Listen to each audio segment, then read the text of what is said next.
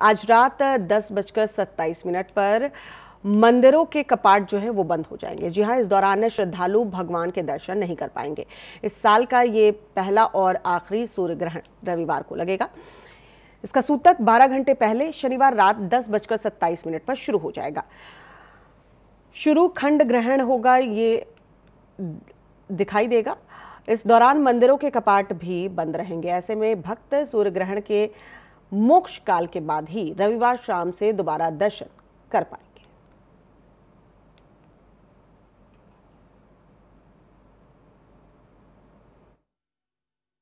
कल इस साल का पहला और आखिरी सूर्य ग्रहण होगा। आपको बता दें, इस दौरान सभी मंदिरों के कपाट को पूरी तरीके से बंद रखा जाएगा। इस समय हम मौजूद हैं लखनऊ के हनुमान सेतु के हनुमान मंदिर के बाहर। जहाँ पर आपको बता दें, इसका जो सूतक है वो 12 घंटे पहले, यानी शनिवार रात दस सत्ताईस बजे शुरू होगा। और आपको खास बात बता दें, ये जो खंड ग्रहण है, ये दिखाई देगा। हालाँकि इसको लेकर जो मंदिरों के कपाट हैं, उसको पूरे तरीके से बंद रखा जाएगा। और आपको बता दें कि जैसा कि कई लोगों का सोचना है कि इस दौरान हम क्या कर पाएँगे या क्या नहीं कर पाएँगे। और मंदिर के जो यहाँ पर प्रचार हैं, उनसे उनकी राय भी जानते हैं कि किस तरीके से और यहाँ पर मंदिर के कपाट बंद रखे जाएँगे। और इस ग्रहण का जो महत्व है, वो किस तरीके का होगा?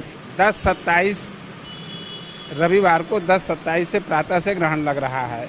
बारह घंटे पहले दस सत्ताईस से हम लोग सभी धार्मिक पूजा पाठ, अन्य कृत अपना रोक लेंगे। दूसरी चीज़ ये है कि इसका प्रारंभ सुबह दस सत्ताईस पर होगा, मध्यान्ह बारह बारह होगा और एक बज के अट्ठावन मिनट पर ग्रहण की समाप्ति है।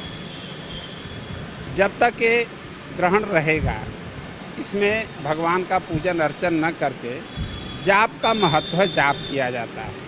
तो साफ़ तौर पे हनुमान सेतु के प्रचार जी मौजूद थे। इनका कहना यह है कि कल जिस तरह से सूर्य ग्रहण लग रहा है, वो राशियों पे डिपेंड करते हैं कि किसके लिए शुभ होगा, किसके लिए अशुभ होगा। हालाँकि आज मंदिर के कपाट को दस सत्ताईस पर बंद किया जाएगा। कल उसके बाद सुबह के टाइम पे यहाँ पर मंत्र जाप किया जाएगा और उसके बाद शाम को सभी मंदिर को खोला जाएगा। लखनऊ से वीडियो जर्नलिस्ट प्रियांश के साथ Sandeep Kher, R nine TV, Uttar Pradesh.